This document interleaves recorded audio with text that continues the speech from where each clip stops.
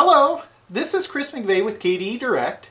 Today I'm going to be going over our KDE XF match power systems. We have been developing these power systems to work directly together with one another for some time now. Our ESC's proprietary firmware is developed and performance tuned to our XF series motors electromagnetic design. This is what allows our motors to have peak performance.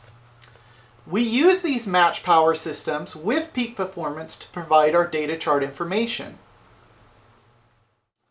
We test our match power systems for commutation errors against all of our XF series products.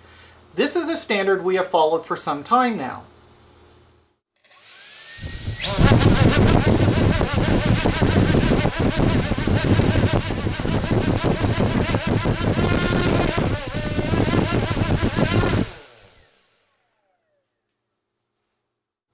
Our ESC's proprietary firmware is not an open source system. Open source firmware basically uses the end user as a beta tester.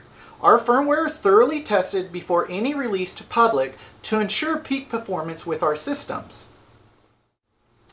The XF Series ESC's firmware is designed to run either a high or low pole count motor. Our motors are divided between high and low pole count motors. The XF high pole count motors start at our 4012 series and move up the line. 4012, 4014, 4215, 5215, and 7215 are all high pole count motors. Our XF series motors that are low pole count motors start at the 3520 and move down the line. 3520, 3510, 2814, 2206, and 1806 are all low pole count motors.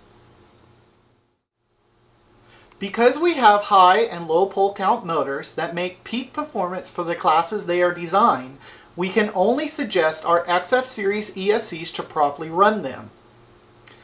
Due to the complexity of a power system, we do not suggest mixing component brands. We have no control over quality of firmware or manufacturing of other brands. Mixing component brands can limit the true performance of our XF series motors and ESCs. The goal is to always have peak performance. Only a matched XF series power system can reach these goals. Thank you for watching.